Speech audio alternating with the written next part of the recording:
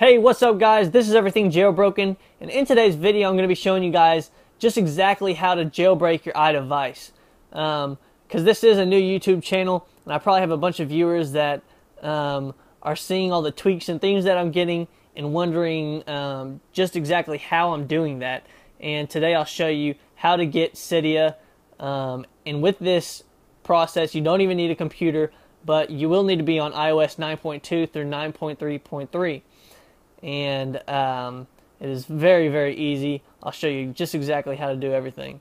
And so you go to Safari, go to this uh, website right here, onlinejailbreak.com. I'll leave that link in the description. Um, but as you see, it says install or install. I'm not sure why it says it twice. Um, I've used both buttons and they both work, so I don't think it matters which one you click on. But if we scroll down here and look at the devices that are supported, just read through those and if your device is listed in there, then you know that this process will work for you. And then in the instructions here, it just says press on install, go to the home screen, and you will see the app is loading. Uh, once you see install instead of loading, turn off your Wi Fi directly or turn on airplane mode. And after that, you got to go into the settings and go to profiles and trust the uh, developer and then you'll have a year worth of jailbreak, which is awesome. And so with that first step, all you gotta do is hit install, hit install again, and it should be installing on our home screen. So here it is, and I'm just gonna move it real quick up to the top somewhere right here so that we can see it after I lift this up because you're gonna have to keep an eye on this um, app right here and as soon as it changes from loading right here to installing, then you have to hit the airplane mode button. Uh, now, why you have to do this, I have no idea. It's kind of weird, but just trust me, it works. I've done it so many different times. And now it might take a little while to load just if your Wi-Fi is pretty bad like like mine is. But um, I'm going to keep this in real time just so that you guys can see exactly how long it kind of takes and how short of a window you have uh, once it hits installing to hit that button.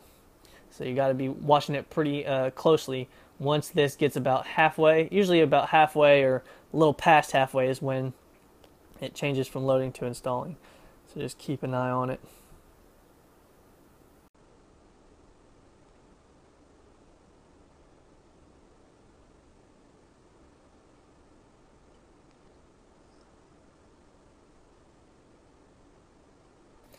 Now, if I just want to tell you guys this, now if you don't hit the button at the right time or you miss it, then this app right here will not install correctly and it'll be all grayed out and it'll tell you that it was unable to download and you'll just have to delete it, go back into Safari and just uh, reinstall it.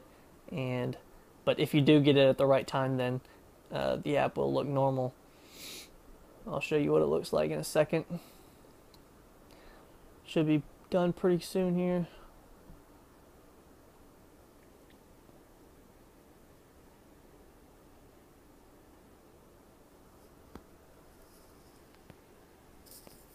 Just to let you guys know also, um, I do have an iPhone 6 Plus and I'm running iOS 9.3.3.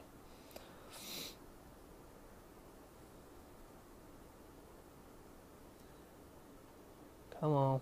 Should be getting close. Yep, probably really close. Alright, so once it gets right about around there, it's going to be close, so you got to get ready. Right there, installing, hit the button, and we should have gotten it. Yep, looks good.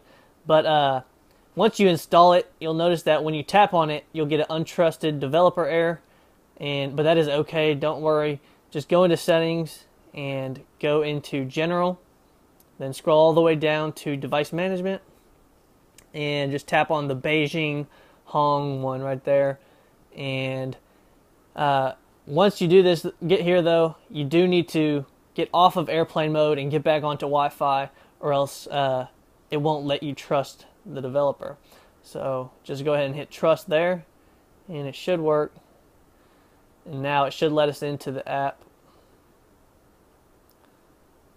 So yeah, and now this this part right here is pretty vital to the uh, jailbreak. You got to make sure that you click OK on notifications, or else it may not work.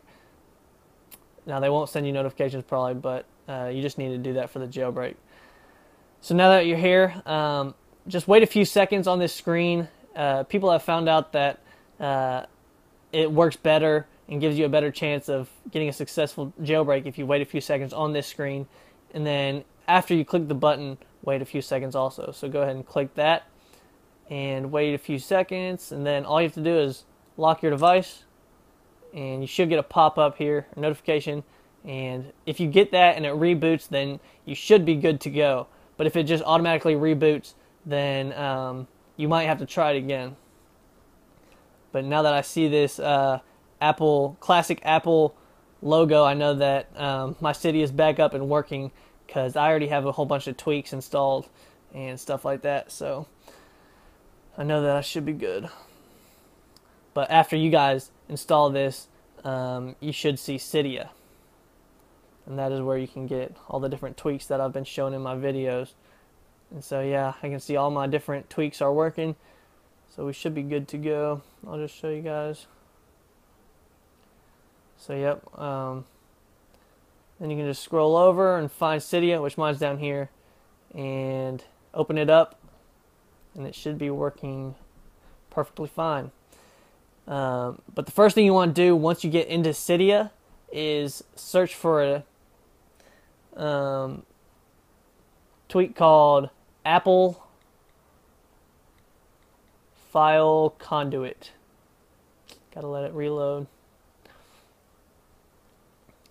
Now this is a must-have uh, tweak or whatever you want to call it because it allows your um, phone to go into safe mode if it uh, has any issues. So you got to get this one first thing to do when you uh, go into Cydia after you jailbreak.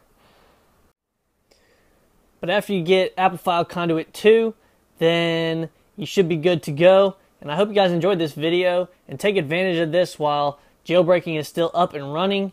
And this is everything jailbroken. Signing out. Peace.